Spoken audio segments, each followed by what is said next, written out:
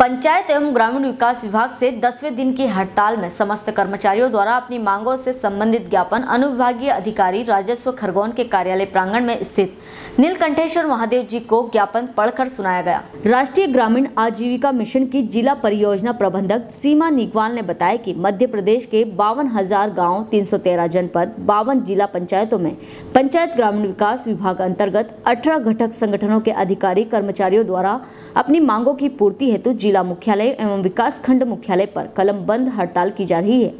इसी संदर्भ में आज सावन के माह में ज्ञापन भगवान भोलेनाथ को दिया गया है। प्रभु से प्रार्थना की गई है कि वह जल्द से जल्द सरकार के नुमाइंदों को सद्बुद्धि दे कि पंचायत ग्रामीण विकास विभाग के हड़ताली कर्मचारियों की मांगों को शीघ्र शीघ्र पूरा करें। खरगोन से जयंत गुप्ता की रिपोर्ट। ग्रामीण विकास विभाग का एक महत्वपूर्ण अमला जो है पंचायत एवं ग्रामीण विकास विभाग से लगभग सत्तर हज़ार कर्मचारी पंचायत एवं ग्रामीण विकास विभाग के बाईस तारीख से हड़ताल पर बैठे हैं। इनमें तीन सौ तेरह बावन ज़िले और तीन सौ तेरह जनपद के कर्मचारी हैं। लगभग तेरह हज़ार ग्राम पंचायतों के कर्मचारी है।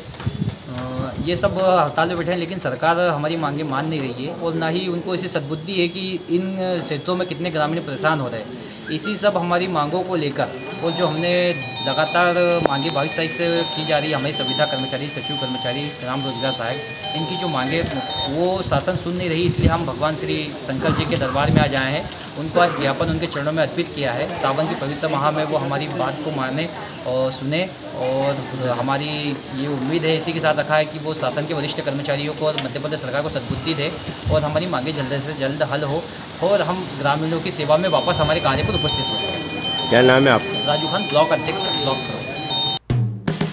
हेलो फ्रेंड्स आप देख रहे हैं हमारा channel S W twenty four news हमारे सारे वीडियो सबसे पहले देखने के लिए आप हमारे चैनल को सब्सक्राइब करें और पास में लगे बेल आइकन को दबाना बिल्कुल भी ना भूलें।